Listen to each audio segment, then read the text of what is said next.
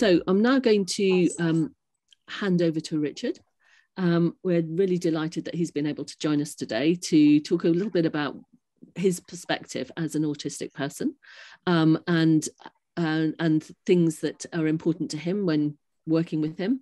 Um, and hopefully that will give everyone a bit of an insight about how one might approach working with autistic people in general. So Richard, I'm going to hand over to you.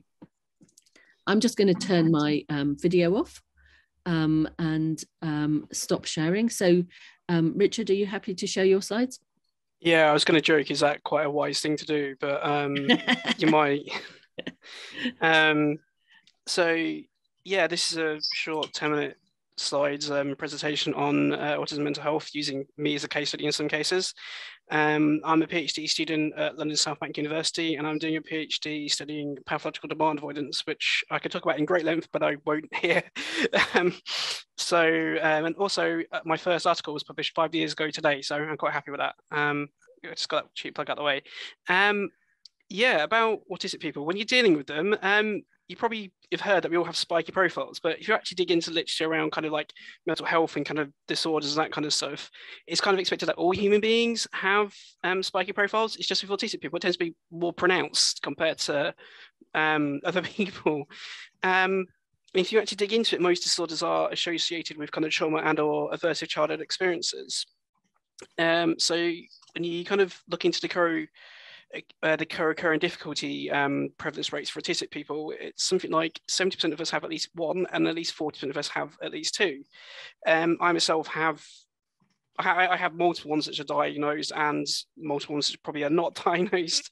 Um, yeah, um, and often like the reason why a lot of autistic people have so many current current conditions is or difficulties is often because we're treated quite poorly by society. Um, and you've got to look at the various stats around autistic people um, to kind of to kind of understand that.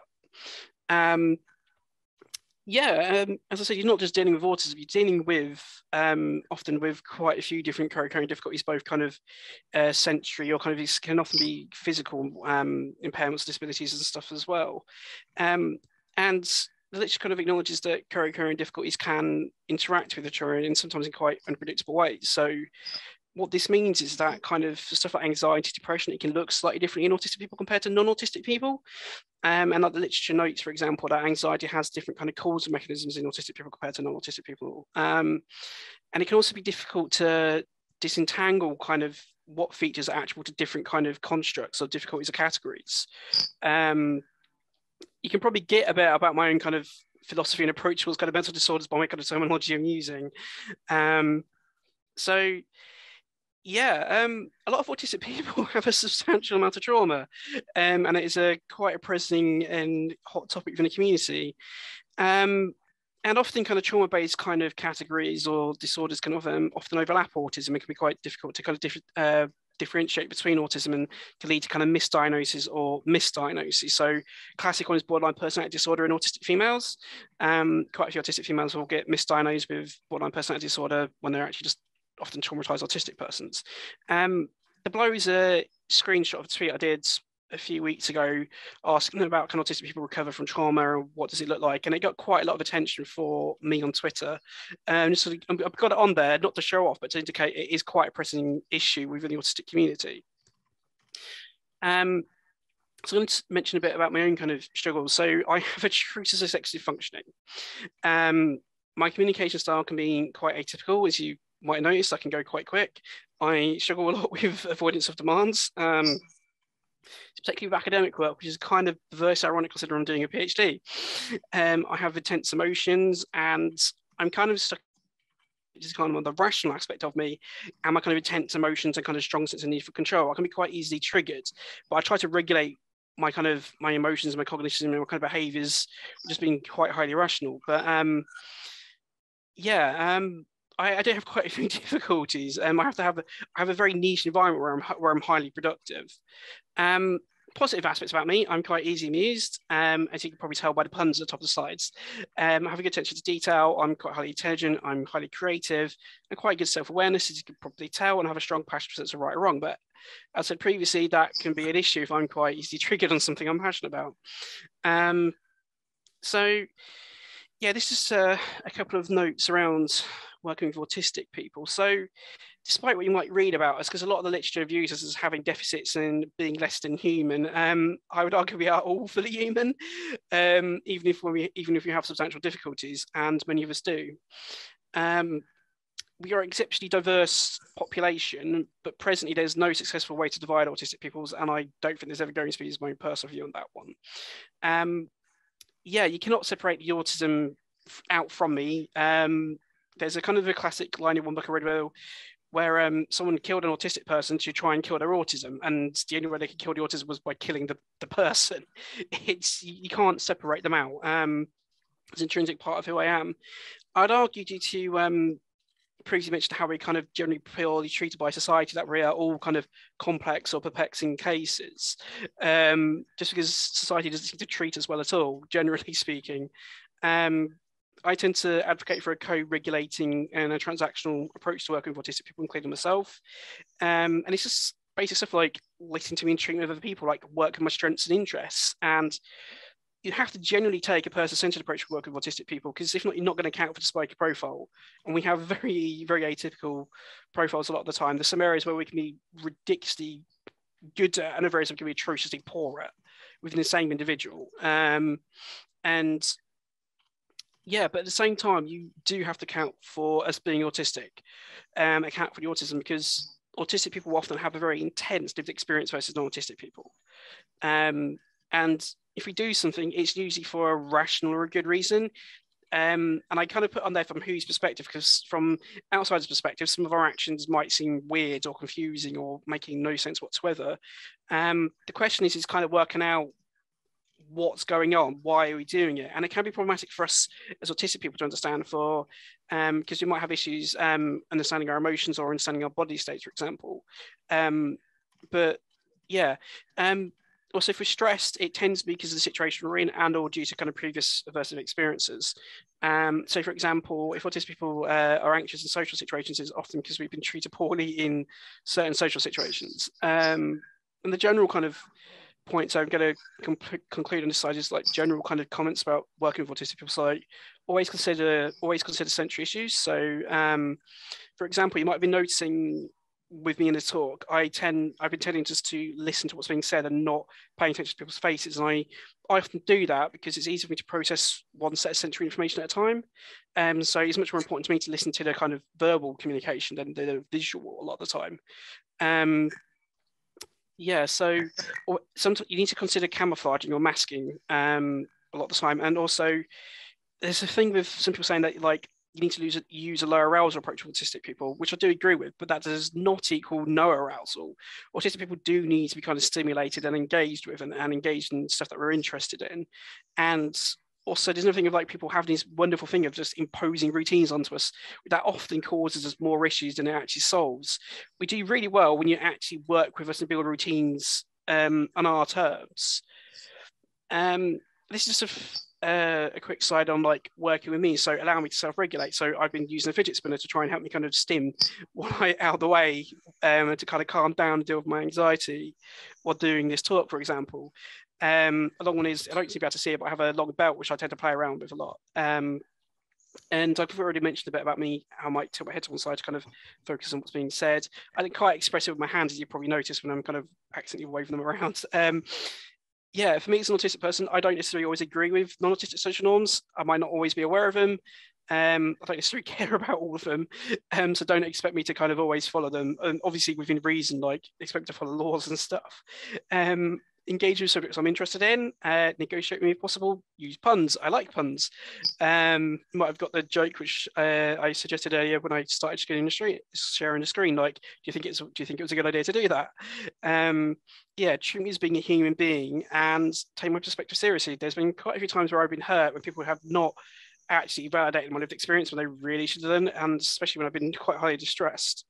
Um, and quite a couple of concluding comments. So this is just a quote from the 2015 England Autism Strategy. And what it points out is that even people who could be diagnosed with kind of high functioning autism or Asperger's, they can often struggle to, uh, to have, uh, they can often have quite a high amount of difficulties in their own personal lives. And the reason why I'm saying this is, is, is because a lot of autistic people across the entire kind of spectrum or continuum of autism, whatever language you use, a lot of us all have issues and all struggle to get access appropriate support. Um, and this is a final question I've been using up my kind of academic work, but I think it's equally applicable in this context. Is like, how do you feel about autistic persons creating disorder that pathologizes your non-compliance in creating a friendly, an autism-friendly world and lack of empathy towards us? And this is just to kind of get you to kind of reflect upon how you interact with autistic people and trying to um, be more empathetic. And um, some stuff. It goes back to some stuff Sean was saying about kind of being aware of your prejudices and kind of biases and, and not always kind of collaborators in a in a positive or necessarily helpful way. It's going to get you to kind of reflect upon that. Um, and the last couple of slides is like my contact details and references. And um, I kind of realized I, sh- I, should have changed bibliography to references, but yeah. Um, sorry if that's been a bit lightning quick. Um, but yeah, is that okay for me to stop sharing or? Yes, that's great. Thank you so much, Richard. That's absolutely perfect, and um, and and, and covers you know an awful lot of the sorts of things that just people need to think about a bit. And I'm and, aware that and, can be quite full on, which I think came across. That's absolutely perfect. Um, and and going back to as you say to the biases things, that the, the key thing about unconscious bias is is that actually one needs to stop and think, not react. And, There's and, the entire and, thing in the autism literature called the empathy problem, which I'm really hoping the other two speakers cover, which is really relevant. So well, we'll yeah, have time I'm for going the to shut up and. and no, no, no, no, not at all. No, We- we've got plenty of time for discussion as well. So, um, thank you so much, Richard. I'm going to um, now uh, introduce uh, Jo and Marie. Well, I'm going to actually let you introduce yourselves um, and just say a little bit about um, about how you've approached the world and and how you think other people might do well to approach the world. Okay, are you happy to share slides, or at least start Yeah. the slides? Let me find them. Oh, bingo, that's it. We're actually we're we're doing a double act on this one. Um, we're going to do this more as I suppose a conversation with some reminders from the PowerPoint slides that we've got here. Um, if that's all right with you guys.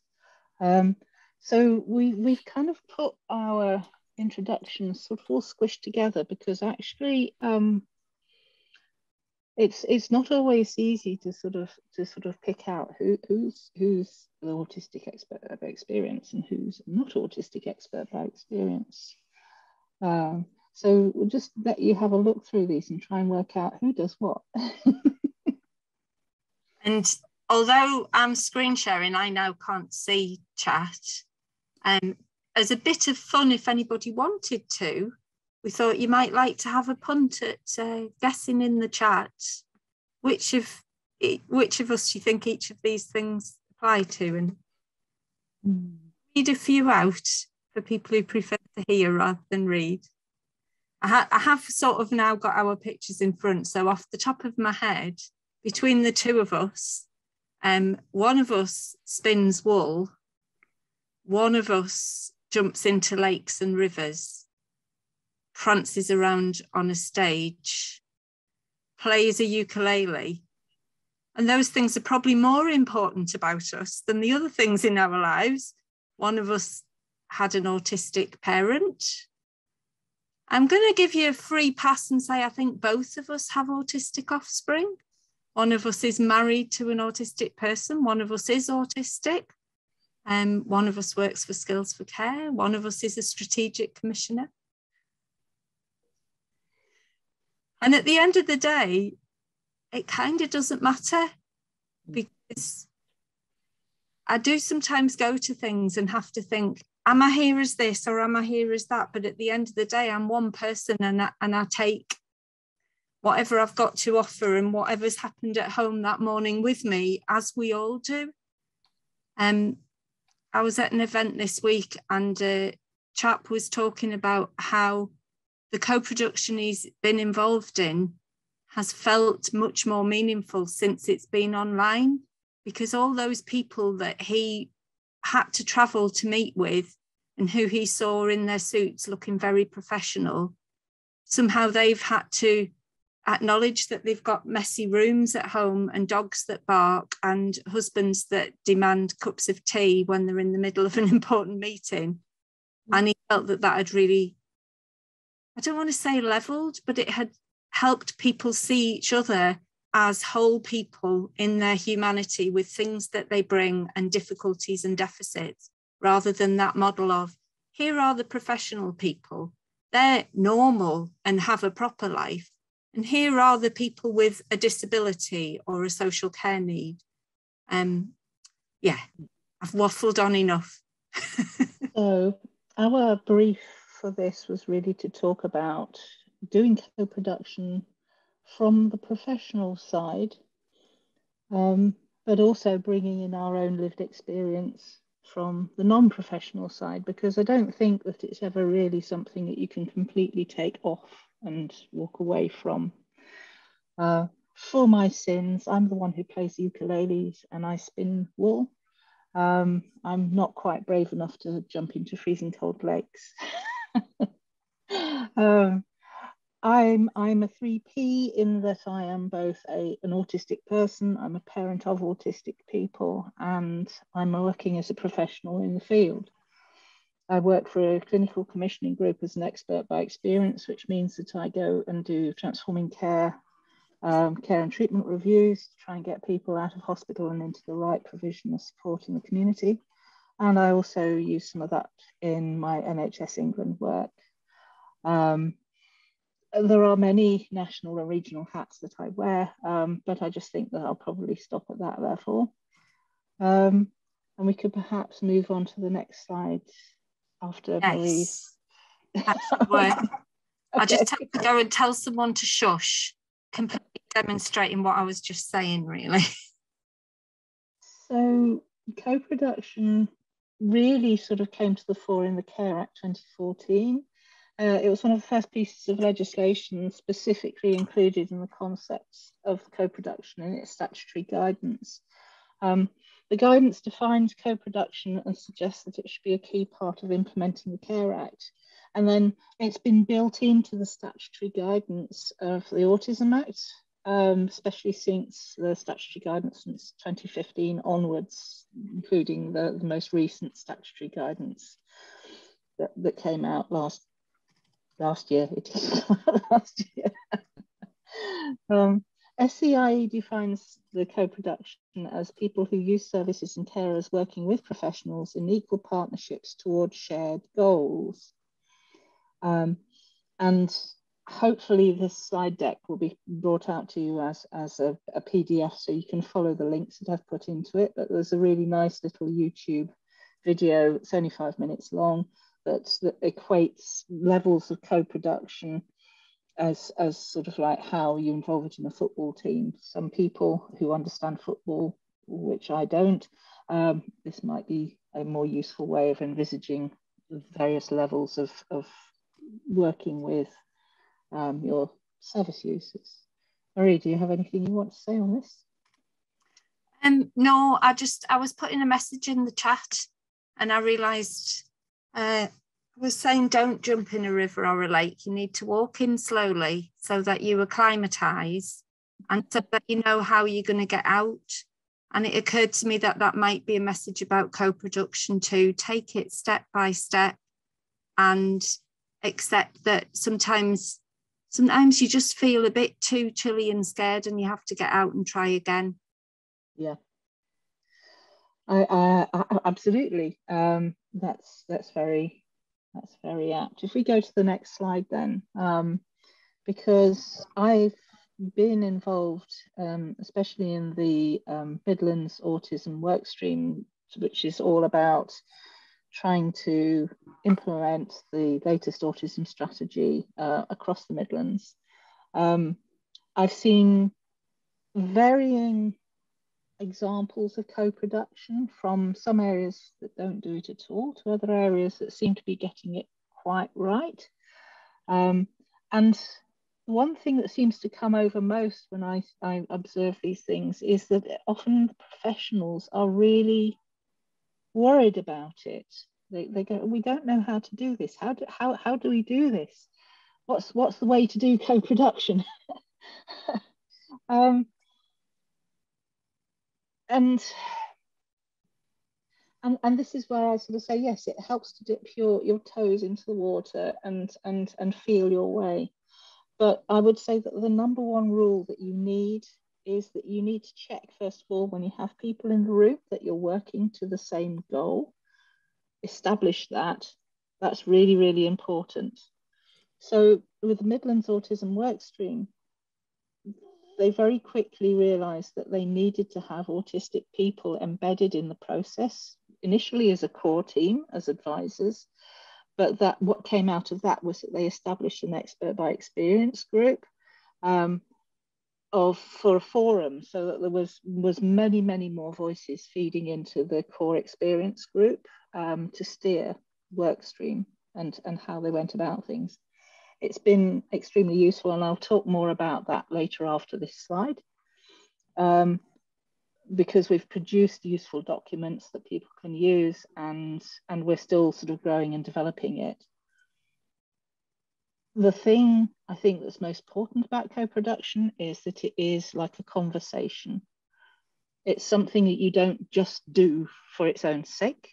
You have to know what you're intending to get out of it and how you're going to work with people in it. So if you don't want to have tokenistic appointments, you need to know who you're asking, why you're asking to join you on the journey. And it is about traveling together, not just doing one thing and then stopping and going away. There's another really, really good example that I know of in North Sorry. Oh, okay, sorry. Sorry, sorry. okay. There's another really, really good example in Northeast Lincolnshire with their adult autism service. And they also have a community interest company that's grown out from the adult autism service where they're using um, autistic. Originally, autistic people steered the service. They had a partnership, an autism partnership board that wasn't quorate unless it was 50% autistic. And they from that they've produced um, uh, autism alert cards and they've been working with police various other things. Um, the faraway kick now provides autistic mentors and peer support. So it's growing and it's growing at a, a really rapid pace. It's almost like once they got the core team together then they just started opening it out into all the other areas that they needed to to put people and to get things working. So it's really worth going and checking out the Faraway Kick and the Northeast Lincolnshire Autism Service uh, because they're they're they're actually sort of living and breathing it and doing it properly. A lot of autistic people sort of approach professional service providers, um, partnership boards, as a way to make sense of the difficult experiences that they've had in trying to obtain services or have their needs met in the first place. A lot of us are quite traumatized by lack of provision and lack of understanding around our needs, especially if um, we're somebody that on the outside appears to be quite uh, able. I'm sitting here talking to you. Um, you don't see the bits of me that don't work so well. I make um, a very, very strong decision not to show people the bits of me that don't work well because um, they've been taken advantage of in the past and that's not good. So you you know it's really important to understand that autistic people come to you mm, with with with a need to make things better, not just for themselves, but for other people as well. So you need to make sure that you are working to the same goals and that this isn't just, uh, oh, we're doing this because the Autism Act says we have to. Yeah, okay, so to next slide. Thanks. So I, I, mentioned the autism work stream. I mentioned that the core um, Autistic Experts by Experience group was started and they, they created a focus group. Um, they gained insights from the focus group to um, to establish the priorities and how that the uh, the work stream moved forward. So the autistic people were saying this this is what we need to do first and this is and maybe we need to do it in this way um, well, very recently we've established a community of practice within um, systems in the midlands looking at specific topics that both the systems are interested in and the experts by experience and the number one thing came up was co-production how to do it what's the best way to get about it we created an interactive document to support this called the Informing Autism Service Improvement Through Lived Experience Insight. it's got a bit of an NHS name. it's very, very wordy. Um, we, we, we just call it the Emerging Themes document because, you know, you, you end up losing the will to say the whole thing. um, and I have a link to that, I think, somewhere a bit further on in this presentation, hopefully. So maybe the next slide. Yes. Oh. Yeah, okay, so this is the front page of it and the first part of the contents. Yes, it's very long, but you can go down to the subtitles and then you can just sort of look up specific things that are of interest to you.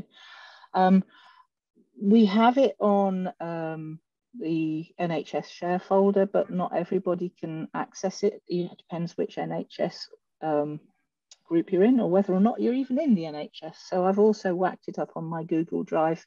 I promise you, this is not a Trojan. That link will get you to the document so you can download it as a PDF. Next slide, please. So things, things to talk about with co-production. I mean, so ideally, you need to be thinking about equality, diversity, accessibility, and reciprocity.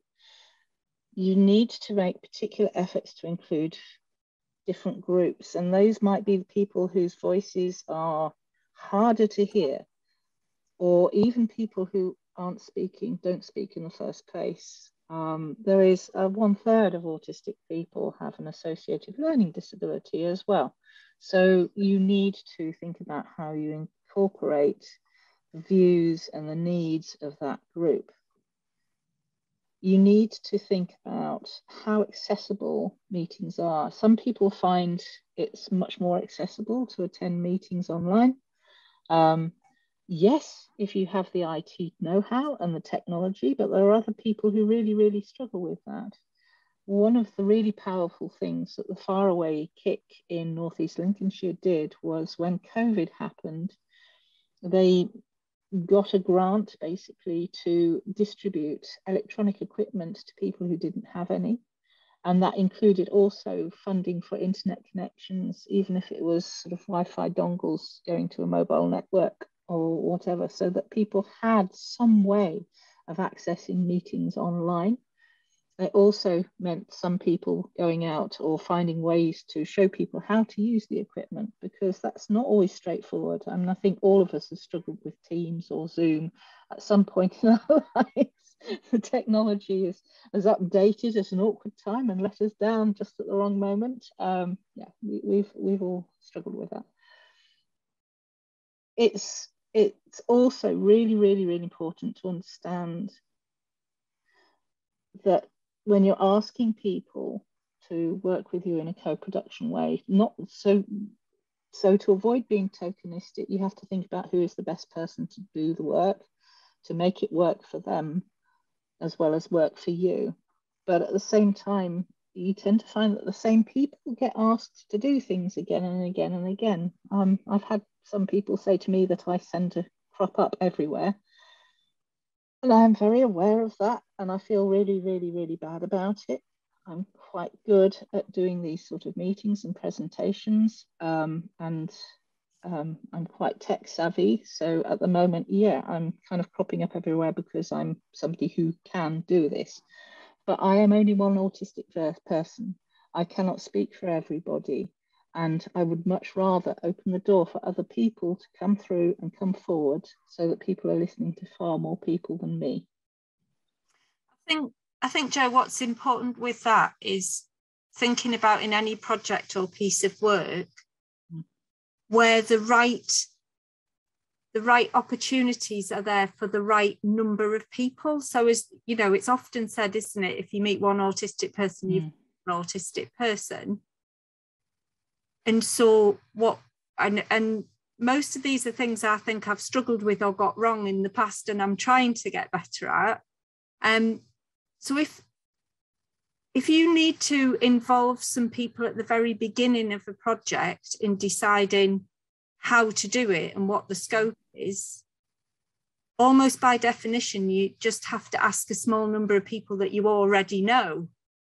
Because the other thing that lots of people say to us is don't decide it all and then come and ask us what we think. We need to be represented right at the start so i think depending on the project and the scale of the things you know one thing that that you jo and uh, other people like you done have really taught me is how important it is that if you've only got space to involve one or five people, that mm-hmm. they're not just individual people, but they're people who actually represent an autistic-led group, whether that's you know local, national, whatever's appropriate for the work that you're doing, and that yeah.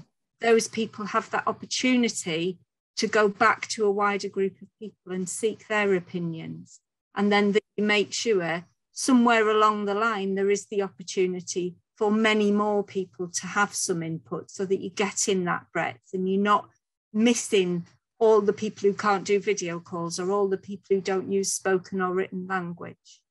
Yeah. Yeah. And I mean, also, just in the same way, as if you as a commissioner are asking somebody for somebody to work with. You don't just go down onto the street and, and just grab any old stranger off the street to do things with. Just having the label autist being autistic is is means that doesn't necessarily mean that somebody's got the capacity or the inclination to do this kind of work with you. So there will be people who have been knocking on the door for a very very long time saying we want to do something, let us on the partnership board, let our voices be here, heard here. Almost every time um, my local council says we, we need to ask autistic people to be involved in some work, I just put a shout out and I get 10, 15, 20 people come back to me saying, yeah, I want to be involved. So there are people who want to come and work with you. I think the fear is sometimes more sort of like how to how to manage expectations and how to how to steer things without it becoming completely out of control. And you know what? To a certain extent, you, you can't. Um, you need to know that the autistic people there are actually needing to steer things a little bit because we know what it's like from the inside to what our needs might be. And we might also have insight from other people who um, also, you know, their needs might be slightly different from ours, but you know, have have a have a, a more umbrella view of, of where we're coming at from this. So thinking about who gets asked to work with you is, is, is, is an important thing, but also understanding the privilege and power imbalance that an organization has working with autistic people. Um, mm, it's it's difficult if you if your basic needs aren't being met, it's really, really difficult to have the capacity and the energy to do work on top of that.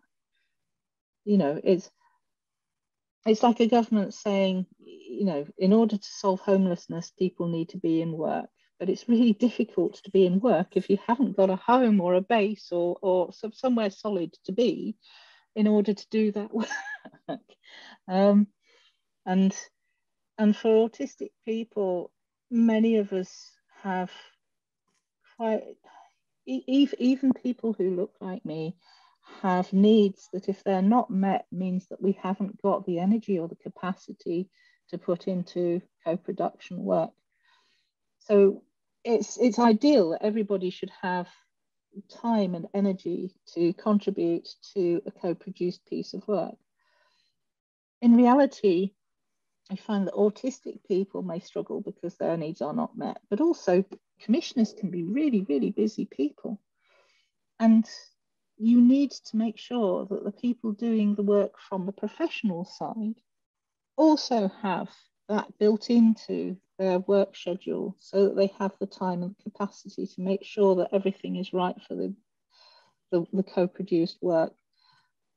One, one of the complaints that we seem to get from a lot of autistic people working at all levels is that we need things written down beforehand and we need to have enough time to process it and think about it and respond to it because doing it five minutes before a meeting isn't acceptable and that we need to assimilate information over more time. Um, so, so th there needs to be thought and planning put into this and it needs to be more than just last minute. So, it's, yeah. I think I think we're going to probably move on to some questions and, and answers in a minute, Jo. Um, mm-hmm. And I think this was our last slide, but we just wanted to put that last point there to remember that we can. I, these are these are my confessions of things I've got wrong. Um, very blithely talking about health inequalities, and then, you know, realizing that I'm in a room with people and and I'm telling them things that might be new to them or might be triggering stuff that they don't mm. really think about that day. Um, so I don't want to go into too much detail about that and do it to us all now. yeah. Um, but yeah. There's the other just prickly issue that I just need to tack on to the end of this is that many autistic people rely on benefits to live. And there needs to be recognition that we're doing work and that needs to be remunerated in some way. But it also uh-huh. needs to be remunerated in a way that's not going to tank people's benefits because that's their livelihood. It's one thing saying, oh, we need you to do this piece of work and we'll pay you for the six weeks that this piece of work takes to do. But at the end of that, this person's still got to exist after that. And if you stop their benefits because their permitted work doesn't allow the level of work that they're doing with you, um, then that is a major problem for that person. There is a duty of care to make sure that people are not going to suffer. But that doesn't mean that you get people for free. It means you need to send people off to do courses on working with people who are paying people who are on benefits. It's complex and the benefit system is absolutely draconian and you need to be absolutely aware of that. It's worth spending the 100, 150 quid it takes to do a day long course to work, to, to have that knowledge to hand so that you can actually work with people in a useful and a meaningful way and remunerate them in a way that they are not going to be penalised for. Okay. Okay, I think that is, um, we were sort of just finishing off with some links here, really, weren't we? And some general mm. messages. Um, the TLAP and SCIE have guidance, but all of these things are so important. It, it's tricky. What I would say is you're almost definitely going to get it wrong, but that shouldn't be a reason not to do it and not to keep trying. Mm-hmm. I mean, if you're if you're trying, and if your intentions are good, we will forgive you a lot. a heck of a lot. Yeah. Yeah. Can I make an important point about kind of taking us seriously and actually working with us and actually accommodating us? Um, yeah, sure, Richard. Go ahead, Richard. Turn, turn your, you, you can turn your video on if you want. Your if you look into the literature around autism, autism around autistic people's kind of suicidal ideation and suicide attempts and suicide actual rates, they are notoriously high. Um, like something like 60% of us have suicidal ideation. I often do. At the moment, it's relatively low because I'm in a relatively good place over the last two or three weeks. Um, but the suicide attempts um, is anything, depending on what you're looking at, from like about 8% to 15% of your uh, autistic population, like adult population, and um, similar kind of figure for kind of successful suicide attempts. um, there's a couple of studies that suggest it's about 9% of autistic deaths are, are due to suicide. Um, and like when we say actually listen to us and take us seriously and take our needs seriously, I can't underpin it enough. Please bloody do. Um, and um, because it could yeah, too many of us have died through suicide, or it's too much of an issue for some of us. Um, and yeah, I mean, talking about kind of showing empathy towards us, like this something should be um put into. I think probably we should we both should one of us should have put into the sides like the actual these statistics. They're grim, and they're grim for a reason, and it's often because of how people treat us. Um, and I mean, bear in mind, like, there's a stereotype about autistic people meant to be more rational than non-autistic people. I mean, some people might dispute that, but it's a bit of a case of if the suicide rates are that high and we're meant to be rational, put two and two together. Um, so I'm going to shut up there and um, move on because it's it's not a good, it's not it's not it's not a good, it's not a pleasant topic to talk about. It's a, it's thank you very much, Richard. I mean, it's a really important thing for people to remember I think that's the point about it is that that, that you know when people talk um, about trauma and about things that trigger, um, actually there are consequences for for people and and those need to be they're, they're, they're important things to remember. And so I'm, I'm very pleased that you brought it up. Thank you. Um, and thank uh, you jo and Marie for uh, just i mean that was a great sort of overview of you know what co-production is uh, at its best and uh, at the times when we as you said uh, marie that you know inevitably get it wrong. You know um, i certainly have um, and i've learned and and one has to apologize and say you know let's let's sort of go back a bit and see if we can restart this process.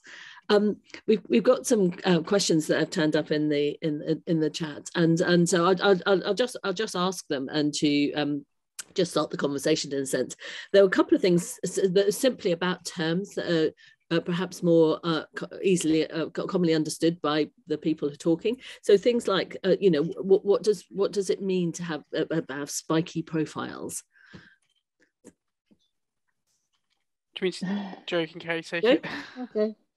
I think everybody can envisage something that they're not good at. Some people are good at maths, other people aren't. Some people are good at dancing, other people aren't. Some people are good at singing, other people aren't. So when we say that everybody, and, and they, we can all think of some things maybe that we're quite good at. So some people can touch type, other people sing, dance, all those other things. We don't expect everybody to be the same. The difference when we're looking at autistic people and what we're capable of doing is that some things we're really, maybe really, really good at, and some things we may be really, really not very good at at all. Um, my executive functioning isn't brilliant. I find the things that most people find easy phenomenally difficult to do, and that was the reason I sought my autism diagnosis in the first place. Was I needed to try and explain to my family why things that they just thought I should be able to do because I'm a woman uh, I really, really, really couldn't uh, because they kind of expect women to be housewives and things. Um, sorry, yes. I'm not very good I at that either, actually. I married a man. I didn't marry a building. Um, anyway, um, so so I find that there are some things that I can do really, really well. I mean, I have a master's with a distinction from the University of Birmingham. Um, so I'm quite academic. Um, but if it comes to um, something sort of physical like dancing, I'm really quite dyspraxic. so, uh, so what I'm taking you... away from it is that, that, that, that, sort of everybody's got spiky profiles, but perhaps autistic people the have like bigger spikes and bigger def- yeah. not deficits, but bigger things that they're not so good at. Is that that right? Yeah. Yeah. Sorry, Richard. I, so, Mary, do you want to go first? Yeah, I wanted to. So, outing myself as not autistic, but living with two autistic people, I think in relation to sort of health and social care, the particular thing about the spiky profile that causes problems is people tend to equate being able to talk with being able to do other things or being clever. So, um, you know, if, if you want some social services support, the assessment actually involves people asking you what you can do and you telling them. So my son can describe in complete detail exactly how to do his laundry and make a meal. He can't actually do it in practice, but the social services system says he doesn't need any support because he can he says he can do it. My husband like like Jo and Richard, he has a degree. He can speak very eloquently and fluently, but in any sort of medical situation, even just a, an appointment about an ear infection, he'll come out and he has mm. no clue what the person said to him because he the stress means he can't retain it. But that person would think, well, I had a conversation with a perfectly with a person who definitely understood everything I said to them. He's he hasn't retained any of it. Yeah there's what's going to point out a good example would be um, the non-speaking population of autistic people is transient over time, over lifespan and different situations.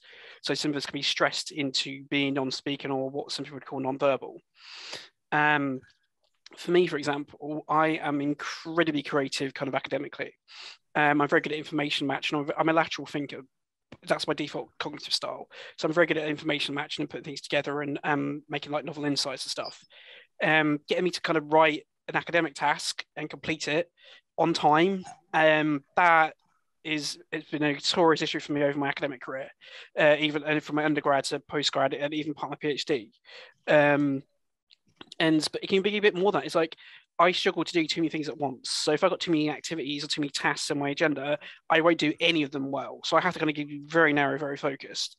Um, it's even like now, like when I was mentioning my talk, like I will tend to, if I'm communicating, focus on one kind of sensory input at a time, normally verbal, um, more necessary over kind of uh, visual. Although I can do both depending on the situation and context. But there's times where um, I have to be focused, focus exclusively like taking notes, for example, during lectures or seminars.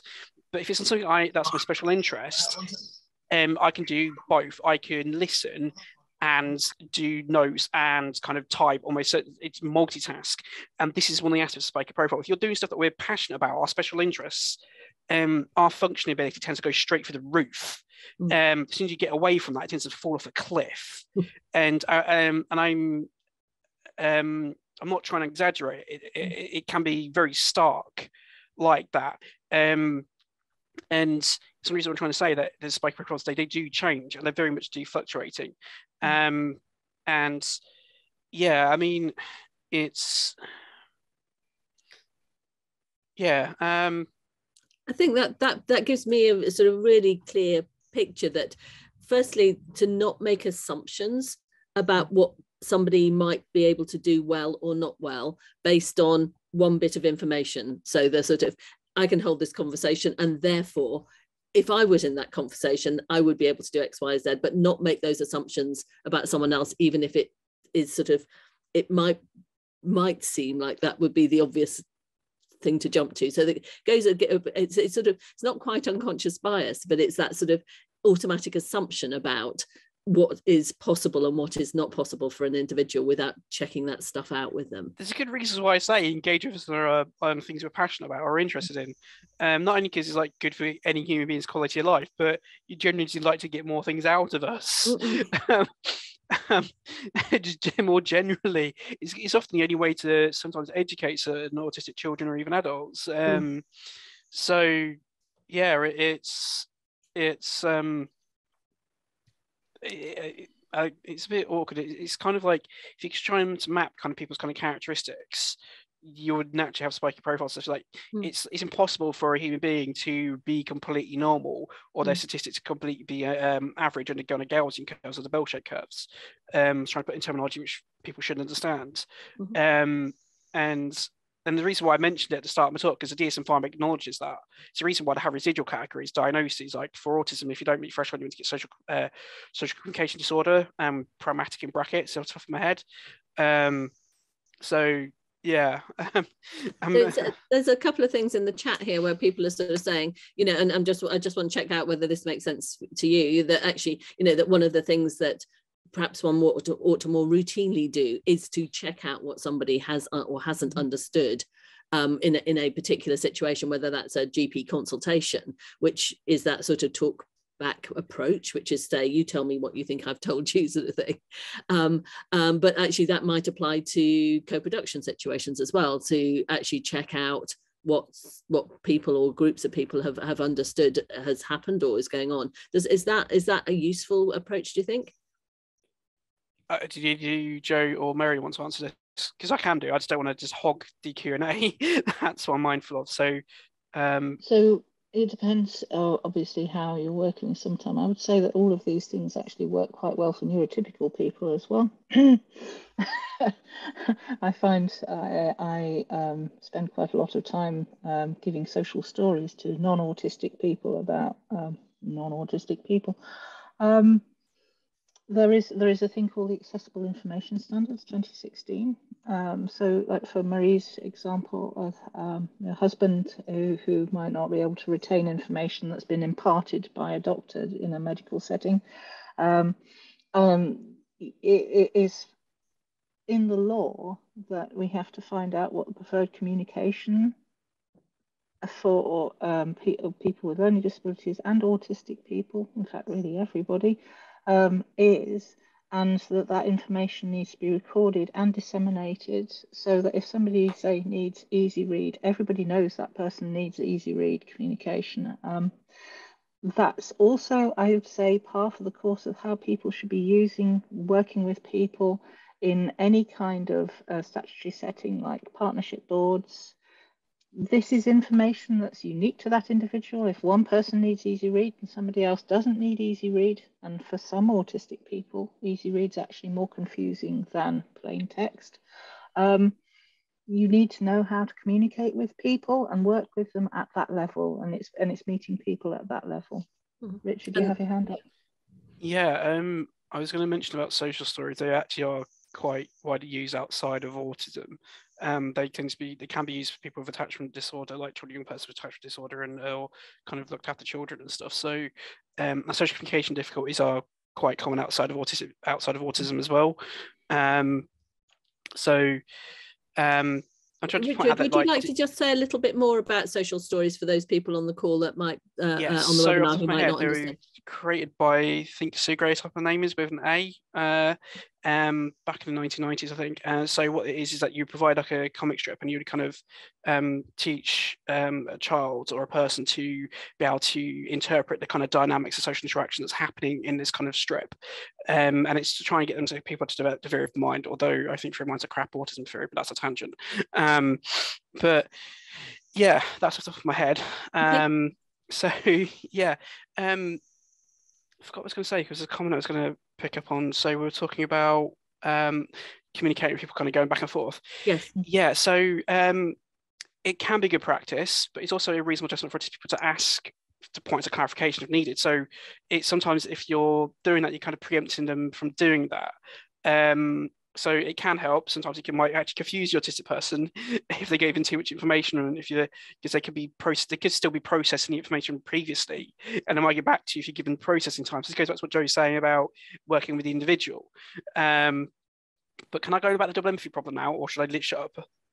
Um, you're very happy for you to expand on that. Yes, do do go on. So, double problem is a theory that was put, proposed in the autism literature by Damian Milton, who's an autistic academic based at University of Kent and also one of my PhD supervisors, um, site tangent. But um, yeah, so what it points down is so instead of um, traditional medical model based literature of autism show that say that autistic person's social communication issues are due to empathy deficits and theory of mind deficits, what the empathy problem suggests is, is that it's actually a transactional approach um, focusing on the interactions between two people. And it's any kind of human being. So it's not just autistic people and non autistic people, it can be autistic and, and autistic people and non autistic and non autistic. What it suggests is, is that the kind of um, when when autistic people experience social interaction issues, other people, it's due to a breakdown in kind of um, saliences or kind of um, lived experiences and perception of what's going on um, in that social interaction. Um, and there's actually a growing body of empirical literature on this um, to the point when actually now there's going to be a, a stream or a seminar on um, on double empathy problem at INSAR, which is the main autis- international ins- uh, autism conference, like globally. Um, and there's really wonderful research research coming out talking about how people's biases, um, sub- subconscious biases impact how they treat autistic people, and and how autistic people tend to interact differently compared to non-autistic people. But when we're interacting with other autistic people, our communication abilities are comparable to non-autistic people interacting with non-autistic people. Um, and there's a growing body of research and actually quite good quality research overall from understanding. Don't quote me on that because i don't know if someone's done a systematic review of it but there is um, yeah there's there's there's quite a lot going about it. There's a lot of hype mm-hmm. within the autistic community in the uk on the double empathy problem because it kind of completely reverts the entire emphasis that we're broken and mm. and all it kind of all this kind of justification of treat us horribly just because it views stuff being transactional and, and kind of um focusing kind of break down kind of communication uh, interactions with people. It's just like a lot of the kind of stuff we're going on here is trying to make sure that we're and it's cool um, between us, us five four speakers is making sure that we're understanding and, and communicating with each other well. So it's like I'm clarifying, going, "You can be talking now? Do you want me to do this or whatever?" Just to make sure that we're on similar wavelengths and actually we're not misunderstanding stuff. Mm-hmm. And this is kind of a good way of kind of maintaining kind of saliences and perceptions of what's going on, even if we're not all sharing the same interpretation, the, the overall general interpretation that we're all sharing is really the same from the four speakers. That's how I would interpret this situation um, mm. and the double WMC problem. Yeah, do, do Jo or Mary want to add any um, comments? I just um, carry on, Jo. so um, I've just been, I've just attended a workshop um, where the, there was myself and another autistic person um, and a whole load of people who who weren't, but worked sort of, I suppose, with autistic individuals, and they'd never actually seen two autistic people just just interacting and getting on. Uh, from the outside, we looked perfectly normal. um, and this was commented upon uh, at quite length, um, in including one psychologist from Turkey who says, "I really need to interview you because this is amazing what I'm seeing here." I'm saying, oh, you know, if if if if you know, a, an autistic person on their own is perfectly happy and perfectly functional because um, expectations and society's norms are not being imposed upon them. It's only when you put us in an environment where people are expecting you to be radically different from the way you're made up that it's it becomes a problem. Mm-hmm. There is research that shows that autistic people are much more tolerant um, in the, the mismatches of conversational style or conversational topics than non-autistic people are um, because we're kind of used to suppose sort of throwing a wider net to get interests areas of in, co-interest or areas where you're both interested in to, to talk about. Um, so it's it's an interesting area uh, of research and it's um, definitely I think opened up the door um, I have always said to people that if you're talking about us without involving us, basically it's gossip. It might be academic gossip, it might be medical gossip, but if you aren't actually including us in that conversation where we're not able to actually sort of say, actually, hang on, you're doing exactly what you're accusing us of, um, then it's it's gossip and it's not nice gossip. It's harmful. We've got an awful lot of redressing to do. We've had 40 years plus, actually more like 60 years, where people, where autistic people have been pathologized and seen as not functioning human beings. We are all members of the human spectrum, and we all have an equal place on it. Um, now it's time for those of us who can to sort of stand up and say, actually, examine those prejudices, mm. examine those ways of thinking, because from our point of view, you know, we're not the ones that are behaving badly. Mm. And, and I, th- I think that's that's that's a really powerful idea, isn't it? That that, that actually, if if you if you constantly pathologize somebody else, hmm. actually it changes the way in which you then relate, which isn't necessarily in their interests or indeed in yours or society so there's something very clear i think in that message about saying actually you know you don't the pathologizing is not helpful um, and that this is uh, about uh, making sure that people can genuinely see how how they how they might need to change behavior but they don't need to change behavior in such a way that it becomes something that is then uh, discriminating, distancing, pathologizing. I've got just a going to, sorry, sorry. Richard. I've got a couple of quick points. Um, I can say for a population demographic which is meant to be not fully human, we seem to be pretty good at producing um, autistic people um, from a reproduction perspective, but also adding back to kind of Jo's point about us being kind of more tolerant about kind of um, different kind of communication styles, interactions. There's some research suggesting that autistic children, and young persons tend to realize they're different from a lot younger age than Mm. um, many people would kind of assume.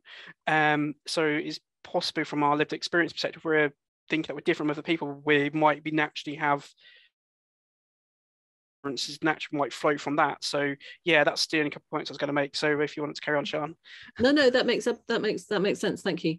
Um, I was just going to pick up one of the other questions that was put into the um, Q and A, um, which was actually to um, uh, ask people to expand a bit on that idea of co-regulating. Does anyone want to take it? Do you want me to? I think you raised that, um, Okay. Richard. So yeah, um, I need to put a koi here because I do uh, do some work for Studio Three, who do the low arousal approach, which I do advocate for people using. Um, and by koi, I mean conflict of interest. So the entire point about co-regulating is, and it's even based with the SPELL framework, which is oh, crikey, structure, positive expectations, empathy, low arousal, and links, as in kind of cooperating with different kind of stakeholders group, which NAS uses. Um, it's basically re- realizing it's kind of linked to the limbic problem in some aspects that the autistic people just don't aren't just blanks. We just don't come with kind of we don't just spew stuff out by ourselves um, that's unwarranted or unproduced. Uh, autistic people will naturally interact with their environment because we are human beings and we are. Um, so what it means is that. Um, and it goes back to the point I'm saying if we're stressed, it's often due to the environment that we're in. So, um, for example, high, some people can be highly anxious due to kind of the clothing they wear can be quite really itchy or kind of uh, uncomfortable for other reasons. And there's some sometimes we're going to have some really weird and wonderful sensory perspectives. So I've heard a story of someone who feels like if they if they're anything touching their knee, kneecaps, it feels like their knees on fire. so, um, and what I'm trying to point this out is is that other people around us in the environment, um, they are how they're acting, how they're presenting, can impact autistic people. Um, so these concepts like emotional contagion. So the emotions that you're expressing can be felt upon um, and kind of be transferred onto other people and stuff. So despite what some people might tell you, a lot of autistic people are highly empathetic and can be kind of quite easy to stress by how much empathy they have. Um, so yeah, there's other kind of um, so what this kind of goes back to is kind of going goes back to uh, transactional stress model. And transactional stress model is actually underpinned in DSM-5 criteria. And reason why I say that is criteria C which is the one that says into from early infancy. However one of the caveats for this is autism features may not present until the the demands of social interactions outweigh our limited um, coping mechanisms which is by def which is in line with a transactional stress based approach. Um, so what it is about is actually understanding that us as individuals, when we're interacting with other people, how we're interacting with them mm. can can kind of trigger or cause other people to present a mm. certain way and present certain stress behaviors. And for a lot mm. of autistic people, that'd be kind of self-interest, well, not this self-interest behavior, it can be stimming and other bits and pieces. And carry on, Jo. So it's, it's the stress bucket, the point where people overflow. I mean, an awful lot of reality TV is based on that, doing it to neurotypical people. If you think about the everyday stresses that autistic people have just to exist in the same space as everybody else, where the environment is not set up for our sensory regulation, um, whereas anxiety about social interaction could be going absolutely through the roof. We're at overflow level at what appears to everybody else like a much lower level. It really isn't. I'd say that autistic people probably have far more tolerance of stress because we're under it all of the time, just in a normal environment where you may have lights that flicker or you have electricity sounds coming from the walls and, and lots of background sounds so you can't actually hear what the person in front of you is saying. Yeah.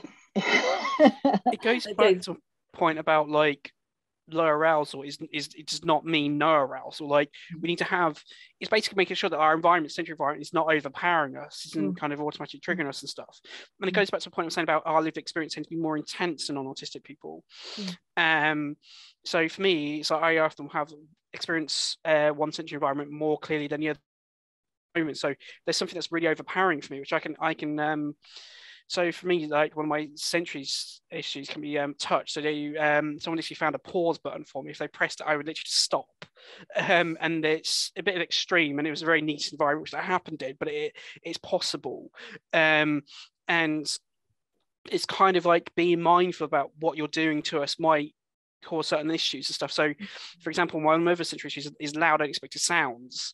That can cause a lot of pain um, if you like use hyperacusis and stuff. And it's kind of like making so. So, for example, like if I'm working in schools and I was doing like TA work and stuff, I don't stick me in a bloody primary classroom where they're doing music lesson for Christ's sake. Um, it's not like I don't. It's not like I don't enjoy being in that situation. It doesn't make. It's like I do genuinely enjoy working with like kind of in primary classes and stuff, but obviously the percussion and kind of bass instruments and stuff and in children who are uncoordinated they'll go oh that's just like sensory overload Mm. um it's don't stick me in that situation it's, it's kind of like um yeah it's kind of like working with and doing stuff on their interests. So if you're doing, so like Damian Milton, for example, the person who proposed it, he'll often talk about table tennis, his his passion.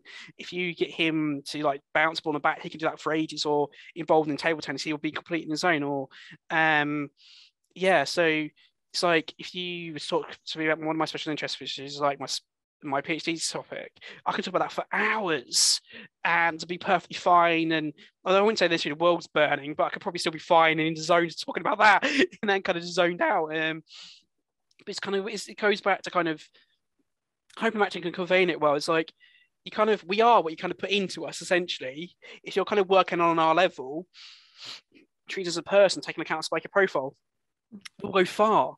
I mean, there's a kind of, I mean, you might have heard of Jamie Line, who's quite well known person, kind of works for NASA and stuff. He has quite high support needs, but he does really good programming and stuff. And he, and like some of his coding's gone into space and stuff. And he has, um, and, that kind of side of it. And it kind of like we can have very atypical profiles. I don't like using that kind of pathologized language, atypical and stuff, but like our profiles can be really weird and wonderful when you kind of get to know them. Um, so yeah. And I, can I just uh, uh, ask something that sort of relates to this this whole bit of conversation is and goes back to that idea that you know things won't work smoothly all the time, inevitably um, for all of us. Um, and bearing that in mind and bearing in mind the sorts of things that jo and, and richard have been saying about you know the sorts of things that might um, you know mean that the bucket overflows and and and, and actually it's too much or the, the or the battery's empty i think that was the other analogy that was used earlier. Actually when that happens what what should what should i do? It'd be lower arousal approach. So um try and remove as many demands as possible put us in a position in which you're basically non-threatening. So that could often be like only one person that's close by. Mm-hmm. Try and use a very minimal kind of language and kind of contact. Like maybe have a glass of water, a cup of water to one side to allow us to kind of come to and kind of like reorientate ourselves and stuff. Maybe have a biscuit ready as well. It's kind of like because it's nice to kind of, generally for most people it's nice to have a biscuit. I'm not saying like use it as a reward, but kind of like just kind of like settle down and kind of get ourselves back together. Because if you've had a meltdown and we're really stressed, it's it's a form of a panic attack. That's really fucking exhausting. And I'm having to mind my language there because if anyone who's been really stressed and had a meltdown, they're, they're really exhausting experiences. Mm-hmm. Um, and it can take time for us to kind of pull ourselves back together, pull our perception mm-hmm. uh, and reorientate ourselves in our sensory environment. Mm-hmm. Um, and we can also lose a lot of our kind of spoons after a meltdown, which I don't mm-hmm. think a lot of people actually appreciate. Um, and do people know what I understand what I mean by spoons? I shouldn't have thought so, Richard. Please, please say. Do you want to say, Jo? Yeah. Spoon theory is basically think of a spoon as an element of energy or capacity or whatever. You have a limited number of spoons in a day. If something really bad happens, or or you have something that uses up a lot of your spoons, you can run out of energy before the end of the day and basically think of autism as an energy limiting condition mm-hmm. you know i can do something like this i can put a lot of energy a lot of my spoons into doing this but i'll probably need to go and lie down for the rest of the day or just do something really sort of peaceful like mm-hmm. playing minecraft um, you know, because i'll have run out of spoons mm-hmm. or the capacity to do anything else work related okay. um, so uh, within the disabled communities, people tend to talk about spoons. Oh, I haven't got enough spoons to do this now. Um, I, I, might have enough spoons tomorrow. Um, yeah. Sean and Lucy might have realised that my out of office email is set on all the time, and it literally says yes. if I don't respond to your emails all the time, because I don't have the spoons.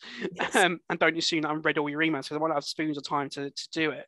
Yes. Um, and yeah, so it's it's basically like yeah, if, if we had a, a meltdown, um, which is it can be just from panic attack, like allow us to basically to recover an our term. Like some people would just have like a meltdown back. So it's kind of like kind of things that we kind of use to engage with, kind of calm us and kind of mm-hmm. reorientate mm-hmm. ourselves. Um, things are kind of interested in stuff, and there's other kind of stuff you can use. But it's the idea is is to try and prevent us from getting that situation to begin with. The reason why I say kind of co-regulation is to work out where we are as individuals and work with us as people and kind of learn our kind of stress signatures. So like what kind of behaviors or kind of features do we express when our, as our kind of stress levels or anxiety levels kind of rise?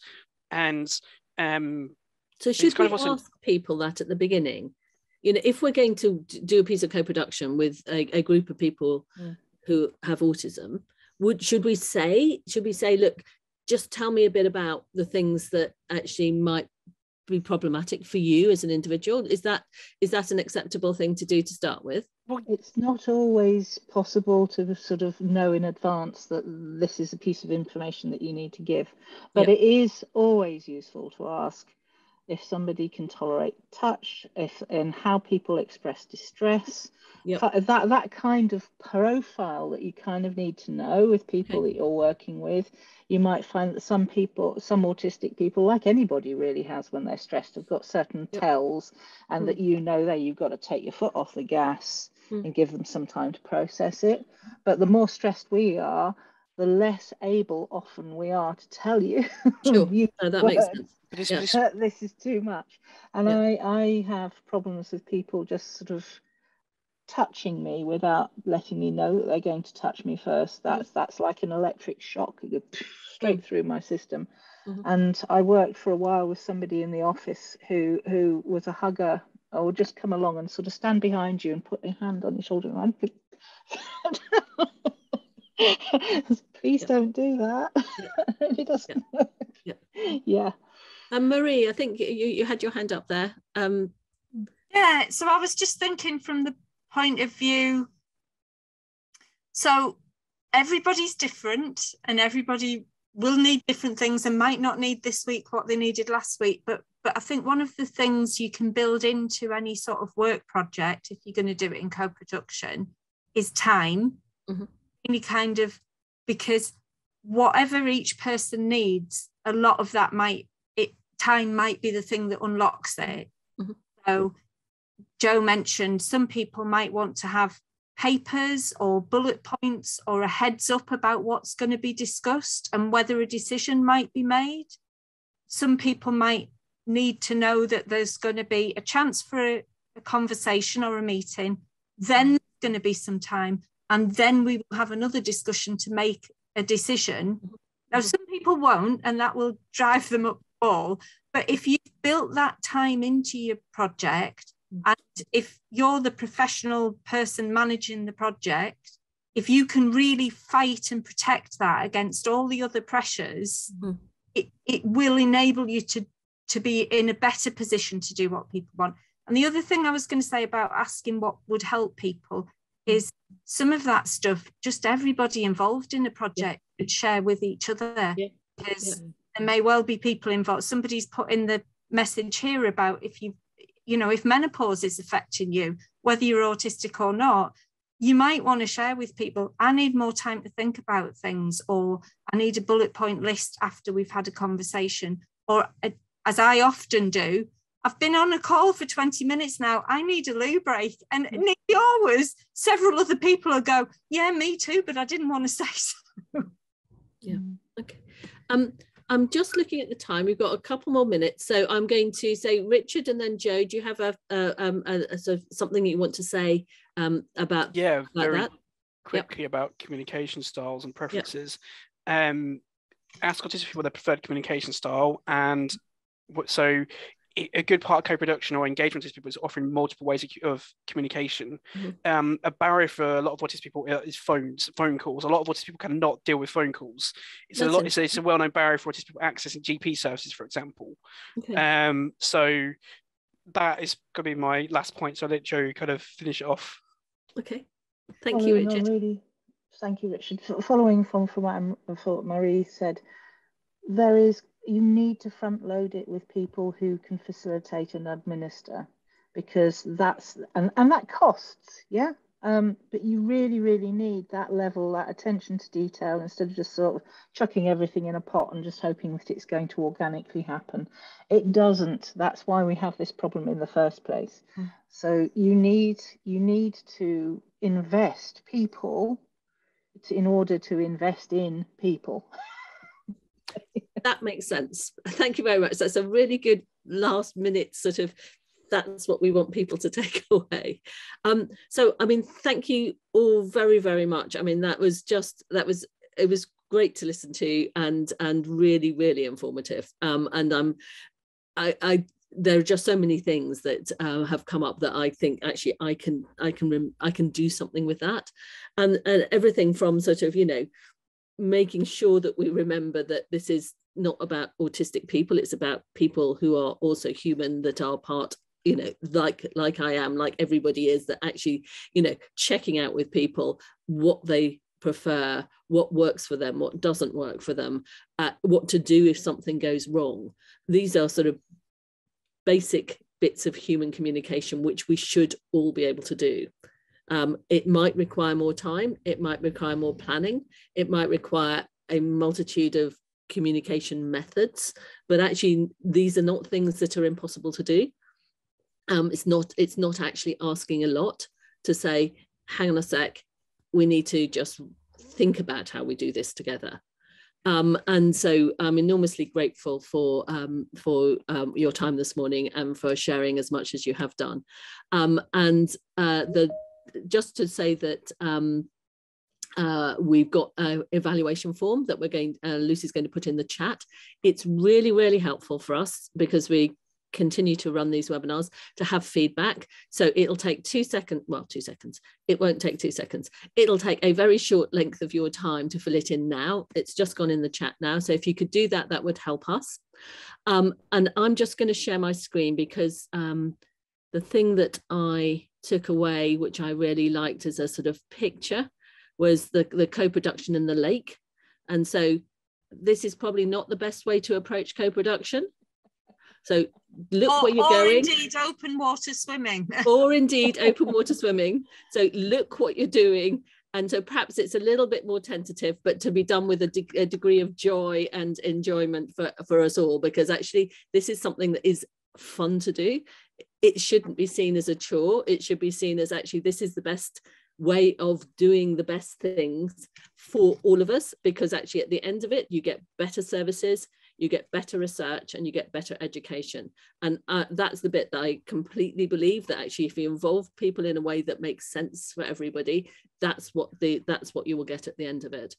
Um, and a sense of value and a sense of community which are all things that are worth having in our lives so thank you all very much. Um, and uh, we hope to see you at our next uh, webinar, which if you're, you've come here today, then we will, you'll be on our list and we'll send you uh, information anyway. So bye. Richard, Marie, Jo, thank you so Bye. much. Bye. Thank you for coming. Bye. Bye.